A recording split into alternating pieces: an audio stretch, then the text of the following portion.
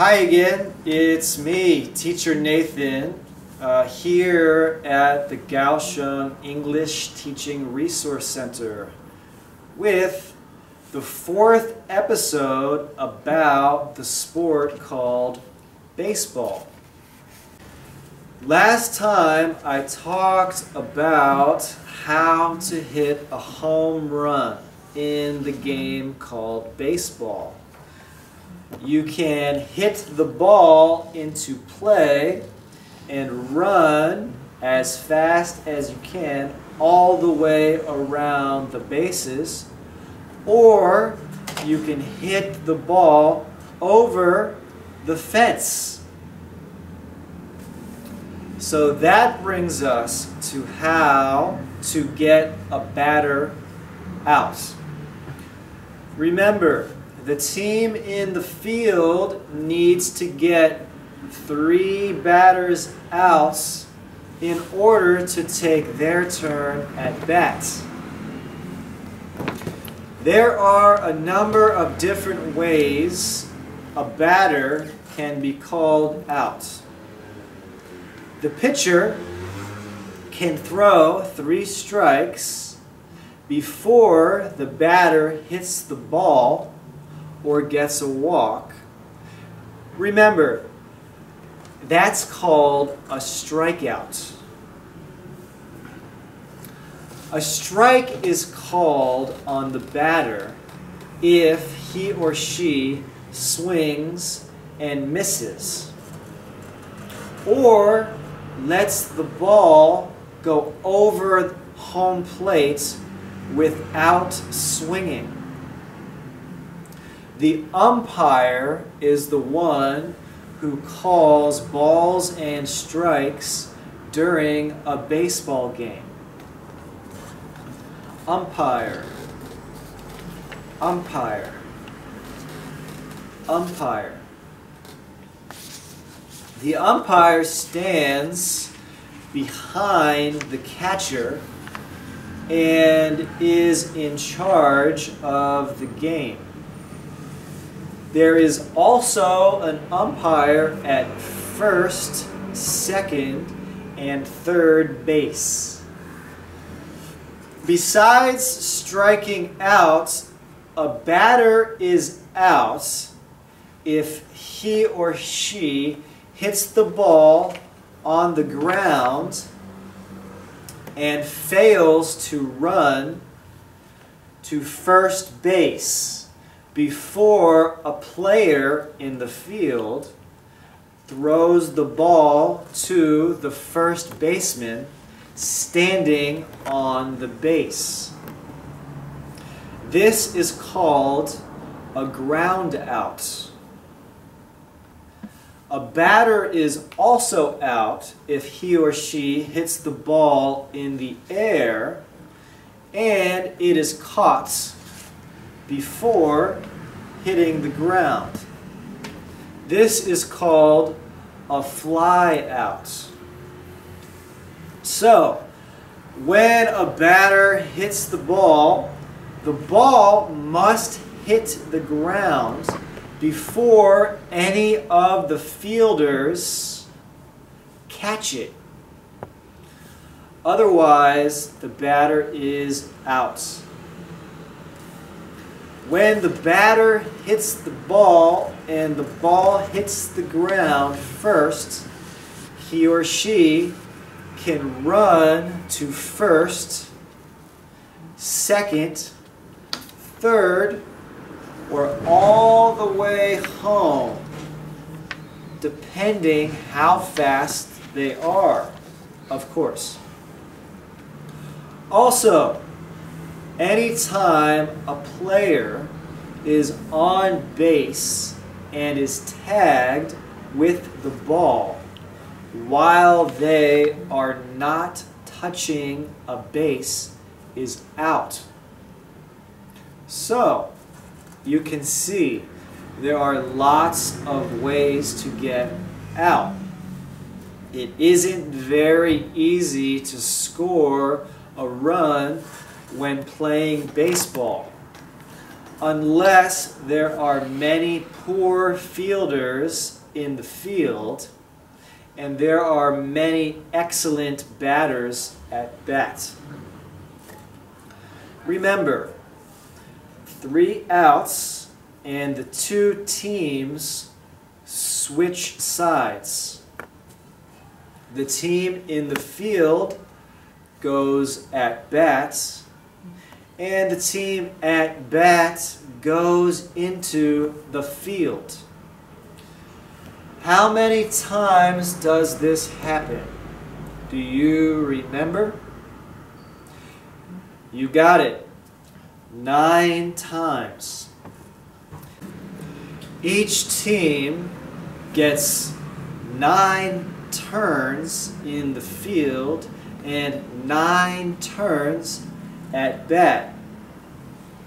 Unless the team winning the game is in the field, in the top half of the ninth inning.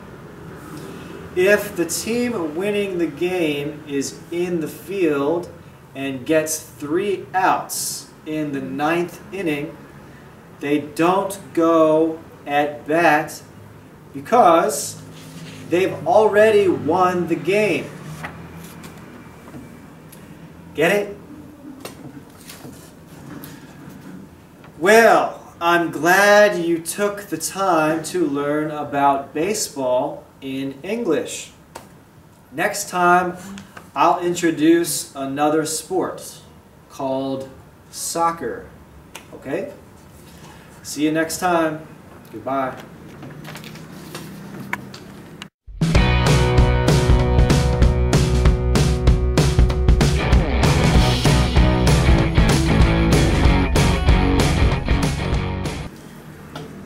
Hi again, it's me, Teacher Nathan, uh, here at the Kaohsiung English Teaching Resource Center with the fourth episode about the sport called baseball.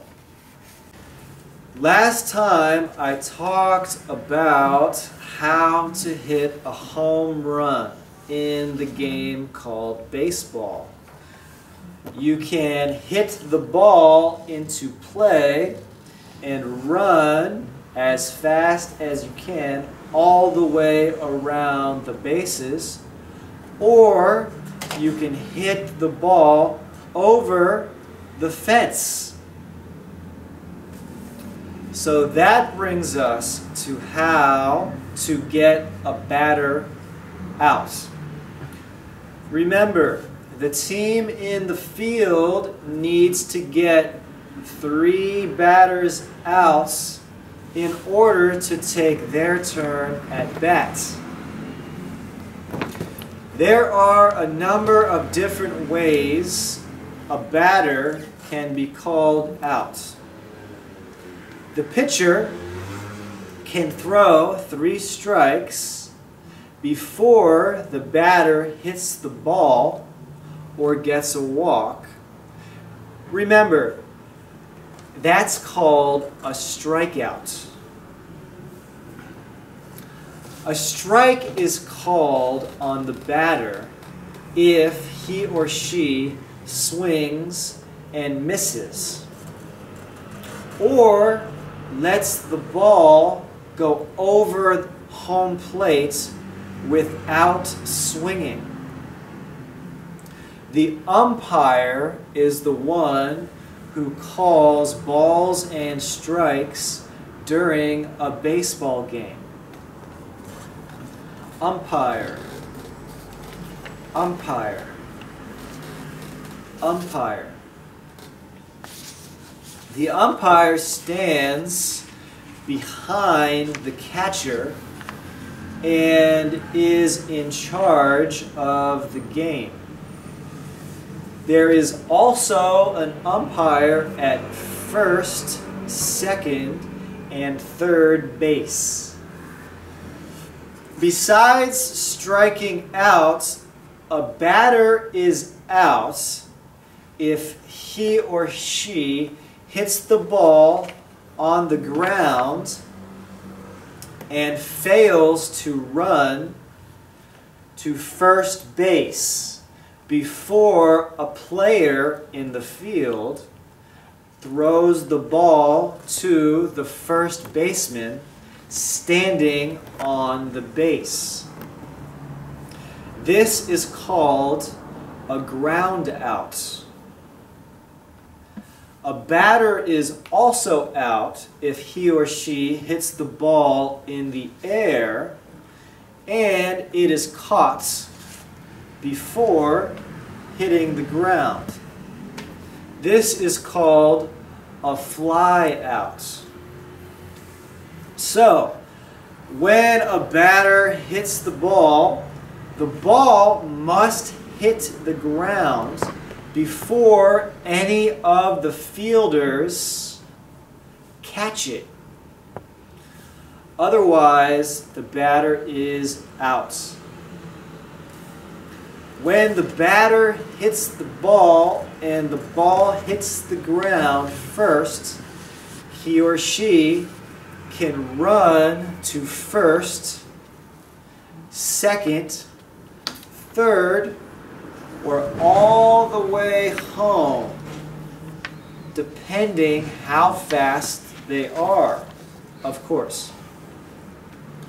Also, anytime a player is on base and is tagged with the ball while they are not touching a base is out. So, you can see there are lots of ways to get out. It isn't very easy to score a run when playing baseball unless there are many poor fielders in the field and there are many excellent batters at bat. Remember, three outs and the two teams switch sides. The team in the field goes at bat, and the team at bat goes into the field. How many times does this happen? Do you remember? You got it. Nine times. Each team gets nine turns in the field and nine turns at bat. Unless the team winning the game is in the field, in the top half of the ninth inning.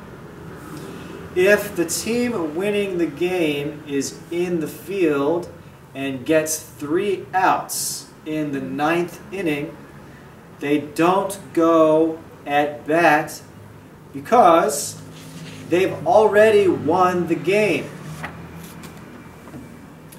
Get it?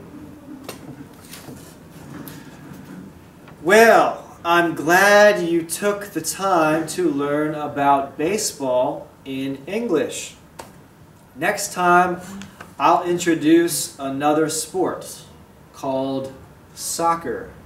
Okay? See you next time. Goodbye.